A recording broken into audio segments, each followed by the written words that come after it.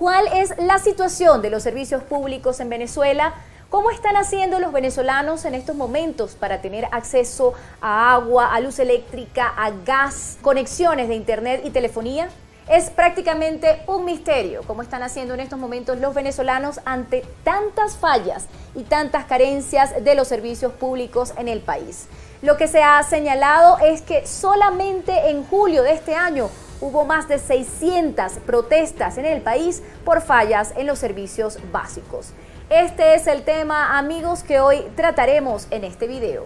Pero antes de darte detalles sobre esta historia, queremos darte la bienvenida una vez más a nuestro canal. Recuerda que acá te presentamos a diario noticias de Venezuela, además de análisis, comentarios y opiniones. La idea es que tengas la información necesaria para saber lo que está ocurriendo en el país y además para que puedas compartir la información con familiares, con amigos, con personas que estén interesadas en los acontecimientos venezolanos. Antes de desarrollar el tema, también queremos invitarte a quedarte hasta el final del video y a suscribirte a nuestro canal si aún no lo has hecho. Bien, recibimos una información de que el Observatorio Venezolano de Conflictividad Social registró en el mes de julio más de 600 manifestaciones, específicamente 649 protestas en Venezuela en diferentes lugares del país por fallas en los servicios básicos, en su mayoría. Esto porque la gente eh, está sufriendo la calamidad de no contar con agua, por ejemplo, que es algo de, mm, de las cuestiones más básicas para mantener una vida tranquila, normal, ¿no? Imagínense una persona que tenga que estar un mes sin agua, solamente esperando que lleguen los camiones cisternas para mm, poder surtir sus tanques o poder surtir o poder llenar algunos recipientes que tengan en sus viviendas. Y esto en estos momentos no es exclusivo de las barriadas populares o de las zonas más pobres. Realmente la carencia de los servicios públicos en Venezuela prácticamente ha puesto a todo el mundo en el mismo nivel.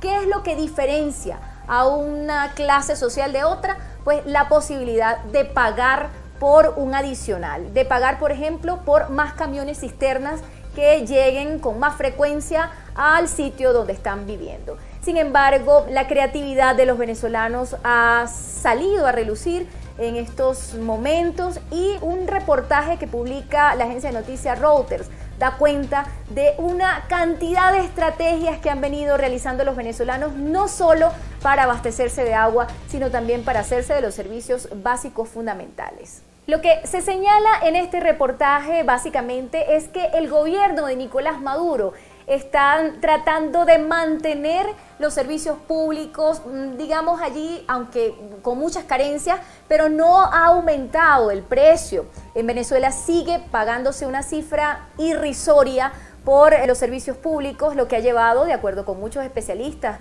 en la materia, al colapso precisamente de estos servicios, porque la falta de inversión pública, la falta de mantenimiento de equipos, de redes, ha llevado a que estos servicios colapsen. Lo que ha ocurrido, por ejemplo, con el agua en Venezuela es que la mayor parte de las comunidades no recibe el servicio por acueducto. De hecho, lo que se ha señalado es que en Venezuela una de cada 10 personas recibió agua corriente durante el mes de mayo de 2020 en sus viviendas y solo 3 de, ellas, de esas personas consiguieron gas a precio regulado. Esto según datos del Observatorio Venezolano de Servicios Públicos, que es una organización no gubernamental en Venezuela. Adicionalmente, los servicios de camiones cisternas es muy costoso para cualquier persona y muchísimo más para los venezolanos que reciben un salario mínimo de menos de 2 dólares al mes o el equivalente en bolívares. Lo que se señala es que un camión cisterna puede costar hasta más de 100 dólares. Y esto normalmente es una cantidad que recaudan los vecinos de una comunidad, de un edificio, de un conjunto residencial que se unen para poder hacerse de este dinero y contratar los servicios de un camión cisterna. Asimismo, lo que cuesta una bombona de gas, un cilindro de gas, es muy elevado y es incosteable para la mayor parte de las familias venezolanas. ¿Qué hacen? Pues recurren a la cocción de sus alimentos en leña, pero también ha ocurrido que en medio de mm, esta situación se ha encarecido incluso el precio de la leña para muchas de las personas que habitan sobre todo en ciudades, en los centros más urbanos. Los venezolanos lo que están haciendo en estos momentos son prácticamente malabares para poder ajustarse a esta situación y cada semana se están viendo forzados a cambiar las estrategias para poder cocinar los alimentos, para poder mantener eh, contacto con sus familiares y amigos. Este reportaje que les señalamos también da cuenta de algunos proyectos que se realizaron en las comunidades. Por ejemplo, en algunos vecinos en el estado Miranda tuvieron que recurrir a una tubería que, ellos improvisaron y que fabricaron ellos mismos para conectarse con eh, una laguna en una zona que queda relativamente cercana al lugar donde habitan. Realmente lo que se está haciendo por parte de muchos venezolanos es tratar de remediar o de paliar de alguna manera la situación y no quedarse de brazos cruzados. Fíjense que hay varias organizaciones, por ejemplo, que alimentan a personas, que ofrecen servicios de comedores comunitarios o que tratan de mm, donar comidas o alimentos a niños en situación de vulnerabilidad. Y mm, ellos han tratado de mantener sus esfuerzos, de ajustarse a la situación de comprar una bombona de gas eh, a un precio determinado, de recaudar donaciones entre los vecinos, entre familiares, entre amigos, para poder mantener la cocción de estos alimentos, para poder mm, comprar el agua a camiones cisternas y tratar de seguir prestando este servicio que en muchas comunidades es lo único a lo que tienen acceso para poder alimentarse. La situación de los servicios públicos en Venezuela cada día es más apremiante, pese a que el Estado, el gobierno nacional mantiene el control sobre ellos. Entonces sigue cobrando precios mínimos básicos, incluso en muchas ciudades, en muchas regiones y en muchas mm, comunidades no pagan por los servicios públicos, no se paga el agua, no se paga el gas. Sin embargo, lo que algunos vecinos siguen sosteniendo es que no importa si tienen que pagar un poco más, siempre y cuando puedan contar con este servicio en sus viviendas. Sin embargo, amigos, frente a las protestas de la ciudadanía, la respuesta del Estado no ha sido precisamente la más adecuada. Lo que han hecho es criminalizar, judicializar y reprimir a quienes han tratado de salir a la calle para exigir mejores condiciones. El Estado definitivamente ha demostrado incapacidad no solo para cumplir con sus obligaciones, sino también para responder frente a los requerimientos de la ciudadanía.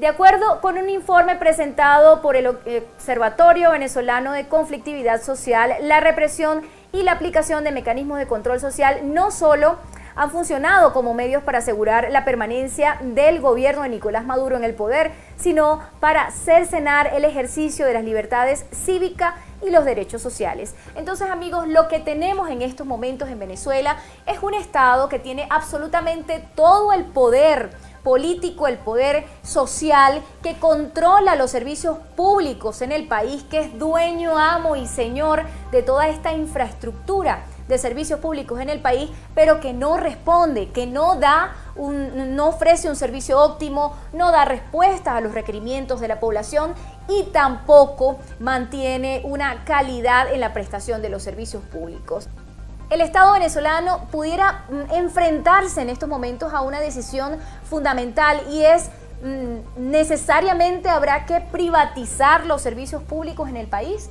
Recordemos que una de las banderas de Hugo Chávez era precisamente que el Estado debía ser el garante de la prestación de servicios públicos de calidad y que estos servicios públicos además debían ser de alguna manera subvencionados por los ingresos petroleros. Pero hoy lo que tenemos en Venezuela es una situación completamente distinta a la que existía cuando Hugo Chávez tomó el poder y además cuando tuvo en sus manos la mayor cantidad de dinero por ingresos por la renta petrolera. Hoy tenemos un país que no exporta petróleo, que no produce gasolina, que tiene abandonados por completo su, infraestructura de servicios públicos, un país en el que hay racionamientos eléctricos, hay racionamientos del servicio de agua potable, un país que cuenta con las mayores reservas de gas, una de las mayores del continente y del mundo, y que no puede suministrar gas doméstico a sus ciudadanos. Entonces, posiblemente la respuesta para que mm, los venezolanos podamos tener nuevamente servicios públicos dignos y eficientes, sea la privatización, tal vez en un mediano a largo plazo, pero la pregunta que seguimos haciéndonos amigos es si las empresas estarán dispuestas a invertir en la recuperación necesaria de esta infraestructura mientras permanezca en el poder un gobierno como el de Nicolás Maduro. A propósito, amigos, nos interesa que nos dejen sus comentarios. ¿Qué opinan sobre esta situación en Venezuela? Además, Cuéntenos cómo están haciendo ustedes en sus casos particulares, en sus viviendas, en sus comunidades, para enfrentar esta situación de escasez. ¿Qué, ¿A qué han tenido que recurrir? ¿Qué proyectos han desarrollado? O sencillamente, ¿cómo, tienen, cómo, cómo logran enfrentar durante semanas, meses la carencia de gas, de agua o de transporte público? Son muy importantes y valiosos para nosotros estos aportes que puedan hacernos para conocer lo que está ocurriendo en todo el país. Y también amigos es fundamental mm, seguir dando a conocer lo que ocurre en cada rincón del país. Todavía cuando un venezolano se consigue con, cualquier persona de otro país, de cualquier nacionalidad, surge la duda y surge la pregunta, ¿realmente en Venezuela eh, ocurren las cosas que se dicen a través de los medios de comunicación? ¿Realmente la situación es tan grave? ¿Realmente es tan, tan mal? La gente todavía no termina de creer que la situación en el país sea la que realmente estamos viviendo. De allí la importancia, amigos, de que siga dándose a conocer todas estas condiciones, porque una cosa es lo que diga un informe, un, texto, digamos, eh, eh, ajeno a lo que ocurre, a lo que vivimos cada uno de nosotros, que señala ciertamente que Venezuela es el país más pobre de América Latina en estos momentos y se compara solamente con países de África. Imagínense ustedes. Pero algo, una cosa es leerlo en este informe y otra cosa es vivir eh, esta situación y padecerla. Y además haber pasado de tener una situación holgada, una situación económica eh, bastante, digamos, tranquila o cómoda, desde hace apenas unos 20 años a la situación que estamos viviendo el día de hoy. De allí que son tan importantes estos relatos eh, en primera persona de lo que estamos viviendo en Venezuela. También amigos nos interesa que nos comenten, muy importante, qué tipo de reportes, qué tipo de información quieren que desarrollemos a través de nuestro canal, qué tipo de información les interesa y sobre todo porque es importante seguir eh, pasándole por encima a este cerco informativo que intenta seguir manteniendo el gobierno de Nicolás Maduro. Muchísimas gracias amigos una vez más por su preferencia, por permanecer junto a nosotros en nuestros videos, en nuestras publicaciones y les queremos invitar a seguir compartiendo estos videos con sus familiares, con sus amigos, con los venezolanos que están dentro y fuera del país. Hasta una próxima oportunidad.